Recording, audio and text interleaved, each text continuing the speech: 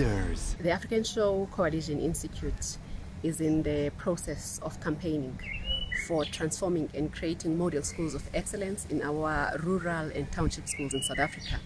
The schools of excellence, we're talking about schools that have sporting fields, beautiful classrooms, enhanced classrooms, libraries, so that learners are actually enhanced, uh, cognitively uh, motivated and inspired to do better things and greater things for South Africa and for humanity as well. Are you happy to be today in Tunisia House? I'm very happy to be housed by the Ambassador of Tunisia in South Africa.